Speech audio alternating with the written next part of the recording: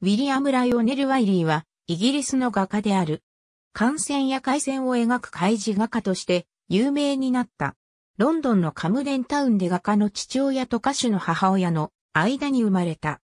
父親の違う義理の兄に有名な画家になるライオネル・パーシー・スマイスがいて、子供時代にスマイスから絵を学んだ。弟のチャールズ・ウィリアム・ワイリーも画家になった。ワイリーの一家は夏はフランスで暮らし、絵の才能を父親や兄から褒められた。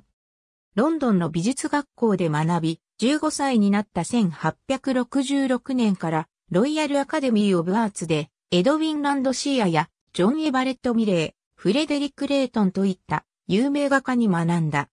嵐の後の夜明け、ターナーゴールドメダル受賞作18歳の1869年に優れた風景画にアカデミーが授与するターナーゴールドメダルを受賞した。1870年代初めは雑誌ザ・グラフィックに開示を題材にしたイラストレーターとしても働いた。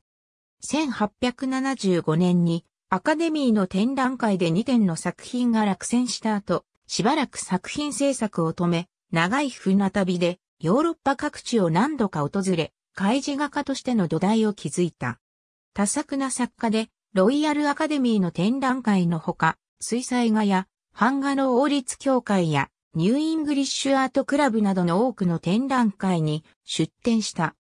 1875年にイギリス芸術家協会、1882年に王立水彩画家協会、1887年にニューイングリッシュアートクラブの会員になった。